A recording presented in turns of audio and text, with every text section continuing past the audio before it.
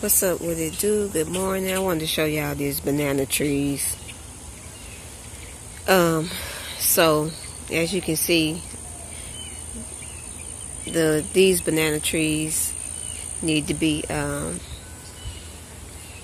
cut down, and I think Mister is gonna get somebody to cut them down for me. Once they um once they produce once they produce the bananas which those are those are bananas that I don't see that's where they they were growing and those are bananas. We didn't get those down but something happened to where they were I don't know it's like they grew like in the wintertime for some reason. It's like throwed off or whatever. So anyway after they produce they die and you just cut them down. And then um, new plants like this one new plants just pop up. So I'm assuming see there's some new plants back there too. So I'm new to this so I'm assuming that this little thing here the little bud part um, I'm assuming that maybe there's some seeds or something in there, or it pop, germinate, or I don't know. Something happens to where you don't have to replant them again because they just automatically start growing back. And those leaves are so pretty.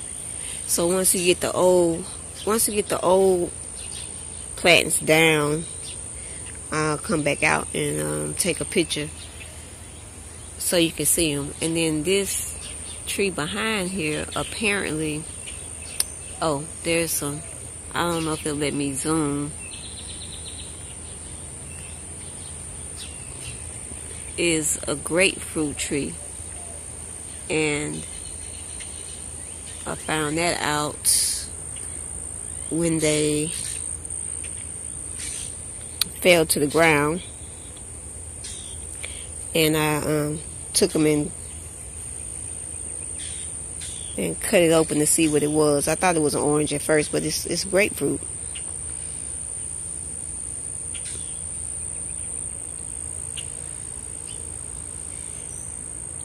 That particular tree is not ours, but hey, if the fruit fall over here, then we're gonna get some of it.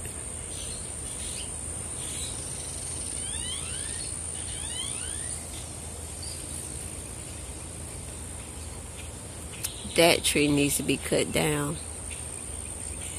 I don't know if it ever produced anything. I don't know what kind of tree it is. Shit. but it is peaceful out here right now.